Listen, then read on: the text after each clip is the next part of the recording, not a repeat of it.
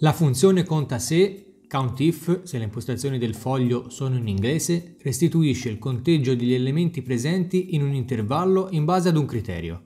È molto utilizzata sia in contabilità, ad esempio per calcolare il numero totale di fatture in un particolare giorno, oppure in campo digital per contare all'interno di tutte le transazioni di un e-commerce quante volte un prodotto viene acquistato. Vediamo subito un esempio pratico. Utilizzo questo foglio che abbiamo già avuto modo di vedere nei video relativi alla funzione cercavert e alla funzione query. Ho una tabella con il numero di abitanti suddivisi per paese e per il continente al quale appartengono. Poniamo di voler conoscere quanti sono i paesi in questa tabella del continente Europa e quanti sono quelli del continente Asia. Basterà applicare la funzione conta se specificando l'intervallo dove recuperare l'informazione desiderata ed il criterio sul quale basare il conteggio degli elementi. Posso specificarlo in modo esplicito scrivendo Asia, tra virgolette, oppure indicando la cella con il suo riferimento. Ecco pronto il risultato. Trascino la formula per avere anche il totale dei paesi europei. Il riferimento alla cella con il criterio cambia in automatico di conseguenza. Direi molto semplice, no? Ma se volessi sapere per questi continenti il numero dei paesi con più di un milione di abitanti? Dovrei utilizzare due criteri nella funzione, uno che mi indica quale continente contare e l'altro il numero di abitanti sotto al quale non deve essere considerato nel conteggio. Per fare questo ci viene incontro una formula specifica, conta più se, che si basa sullo stesso principio appena visto ma che permette di inserire più coppie di intervalli e criteri. Proviamola subito.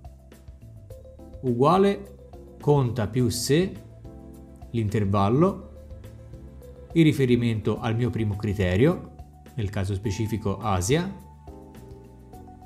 il secondo intervallo di riferimento, quello riferito al numero di abitanti, ed il criterio maggiore di un milione.